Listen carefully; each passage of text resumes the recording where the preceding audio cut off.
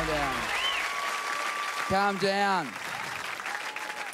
It's great to be here. It's fantastic. I can see you're a great audience. It's great to have an audience. Remember a few years ago, I couldn't get an audience and it was tough. Very tough. Remember, that was the time when my, my mum and dad had never seen me do comedy before. And they were sus on me because I'd lived at home for 20 years and I hadn't made them laugh once. they wanted to come to one night of a season I was doing, and some nights there was no one there. And they wouldn't tell me what night they were going to come. So I had no chance to stack the audience on that night, make it look like I was kicking ass. I walked on stage this night, there's only two people there mum and dad, just staring at me. I tried to keep my professionalism. I said, Is anyone here from overseas? They said, You know exactly where we're friggin' from. They gave me a lot of attitude, but I get attitude every now and again. I got in a cab recently. I was doing a gig, got in a cab, and the guy gave me attitude. Got in his cab, and he said, "What are you doing?" I said, "I'm doing a stand-up gig." He said, "Oh yeah, where?" I said, "This theatre." He said, "It's a big theatre. You good enough to fill it?" I said, "Mate, there's five seats in this cab. You only filled friggin' two of them, haven't you?"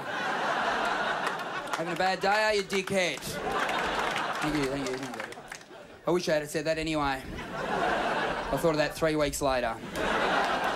But good on me. I've got a lot of attitude in cabs. I was in a cab, another cab recently, and the guy was talking on a mobile phone, which is not good in itself, but it was in another language. I had no idea what he was saying. He could have been saying, "Oh, I got a cute one here." I like to think of myself as cute now. I never did. for a long time, I didn't think I was cute. At school, I didn't feel cute. I got no action at school whatsoever. It's probably pretty handy. I went to an all-boys school. Would have been nice to have been asked, though.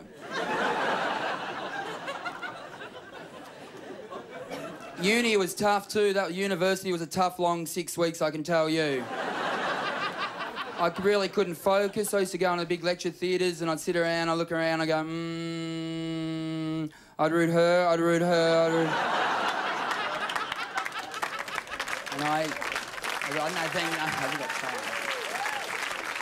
I didn't root anyone, I tell you. It's a lot of theory, but no practice going on. Was tough. My parents were sus on me, but for that too, they rang, mum rang me up once and said, Dave, it's okay if you're gay. I said, Mum, I'm not gay. She said, do I never see you with girls? I said, I do see girls. She said, you never bring them down home? I said, Mum, it's a three-hour drive down there. These girls want 200 bucks an hour. You know, it's, it's far too much for me. Well, I didn't have a girlfriend for a long time, or I was not till I was 25 till I got my first girlfriend, you know. So I was walking around this earth for 25 years, and you know, without a girlfriend, without you know, without realizing all the things that was wrong with me. it's really. You don't realize how unlovable you are till you find someone who loves you, really, do you? There's a lot of things I was doing wrong in life and I didn't realise. Like eating cereal, I was eating that too, far too loudly. When you're eating Special K in the kitchen and you're waking someone up from the bedroom, you've got an issue. Other things I was doing wrong. The margarine container, when I was digging my knife in there, I was going down too deep. I should have kept the dippings more shallow so as to not upset the look of the container. I didn't know that. I thought if I kept the jam out of there, I was doing a good job. the non-stick wok, I should not have cleaned that with a scourer. And when I did, I should not have lied about it. We used to break up quite a bit. It would be inconvenient, all the breakups, because I'd always be, always, she'd always order me out of the house. She'd say, that's it, it's all over. Get out, I never want to see you again. I'd start walking out, she'd go, yeah, that'll be right. Just walk out.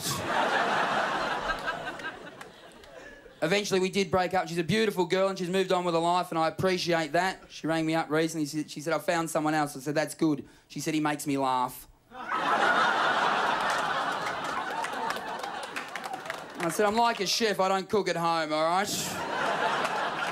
Guys, you've been a great crowd. Thanks for having me. Cheers. See you next time.